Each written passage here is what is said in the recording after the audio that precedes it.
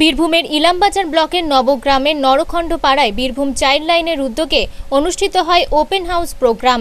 এই কর্মসূচিতে উপস্থিত ছিলেন ইলামবাজার পঞ্চায়েত সমিতির সভাপতি রবি মুর্মু, বিতান স্বেচ্ছাসেবী সংগঠনের coordinator Barnali Das, Birbhum child line আধিকারিক ফজলুল হক, ধীমান ভট্টাচার্য সহ আশাকর্মীরা এবং তিরিশ জন কিশোরী। এই কর্মসূচির মাধ্যমে কিশোরীরা তাদের সমস্যার কথা সরাসরি জানাতে পারবে চাইল্ড লাইনের কাছে এবং প্রশাসনিক সহযোগিতা তারা পাবেন বলে জানান ধীমান ভট্টাচার্য।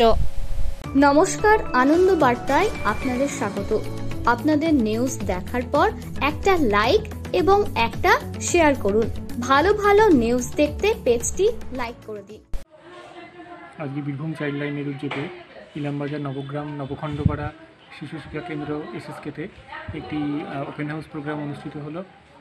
ওপেন হাউস প্রোগ্রাম হচ্ছে একটি অনুষ্ঠান বিশেষ অনুষ্ঠান যেখানে শিশুরা তাদের নিজস্ব সমস্যা বিভিন্ন সমস্যা তুলে ধরতে পারে।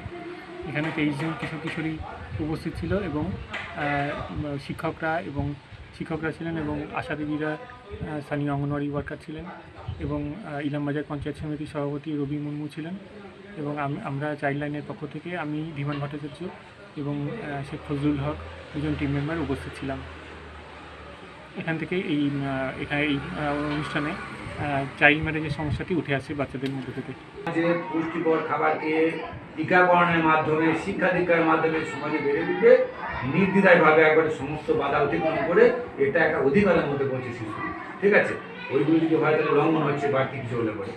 আর রাইট টু প্রোটেকশন যত রকমের প্রতিবন্ধকতা আছে সেগুলো থেকে প্রোটেকশন মানে সুরক্ষা পাওয়ার অধিকারটা শিশুর রয়েছে।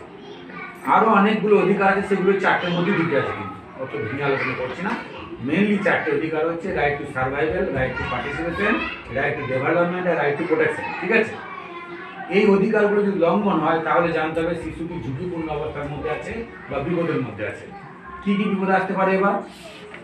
আমাদের এলাকা থেকে বাচ্চা হারিয়ে যেতে পারতো নাকি? বীরভূম থেকে মোহাম্মদ ফিরোজের রিপোর্ট আনন্দ বার্তা।